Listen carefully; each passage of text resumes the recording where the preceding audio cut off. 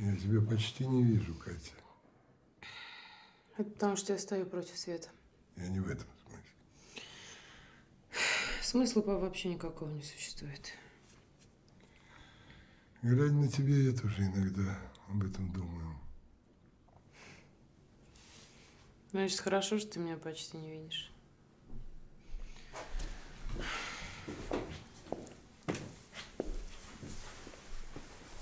Я никогда не была для тебя смыслом жизни. Ну, слава богу, как говорится. Ты ошибаешься. Деньги, пап, только деньги для тебя всегда были единственным смыслом. Это что ты? Итоги мои подводишь. Для тебя деньги тоже важны. Ну, не настолько. Может, потому что ты никогда их не зарабатывала сама? Может, потому что ты слишком баловал меня?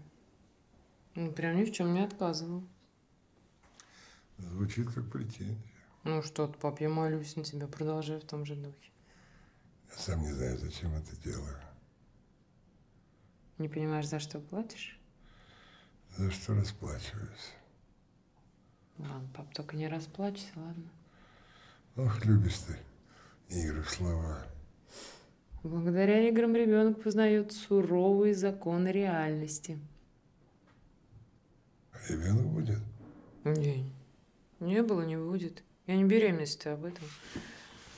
Жаль. Это бы привело тебя в норму. Да я в норме. Алкоголь и наркотики теперь только по выходным. Я теперь так живу. Из удовольствия только секс и еду никак не удается упорядочить, но и работаю над собой, можешь не сомневаться. Ты что, собралась курить здесь? Ну, почему нет? Ну, из больницы, Кать. Ну и что, ты оплатила тебе апартаменты, можешь себе все что угодно позволить. Ты издеваешься? Ладно, покурим, где это можно. Ну, подожди. Ну, что еще? Откуда в тебе вот это вот... Это верблюда, пап. Гены, наследственность. Гнилое семя. Мы все гнилое семя, недочеловеки. Ради воспитай других, попробуй, может, у тебя получится. Других это отличных от остальных? Пап, ну таких же никогда не было и не будет. А экспериментировать в этой области что-то не хочется. Больно, затратно. И бессмысленно. Да что же у тебя все бессмысленно? Дурацкие отговорки, только чтобы не брать на себя ответственность. Пап, безответственно – это автоматически плодить себе подобных.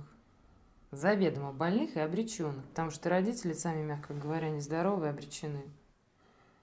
И делать это, руководствуясь лишь тем, что все так делают, потому что в этом есть некий якобы высший смысл, познать который нам, увы, не дано, потому что мы все лишь исполнители некой высшей воли.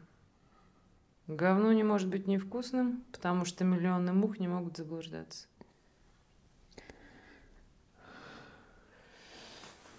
Пап, скоро вообще конец света, если не в курсе. Ты знаешь, пока я тебя слушаю, как ни странно, я чувствую себя значительно лучше. Вот, правильно, за этим вы и плодитесь.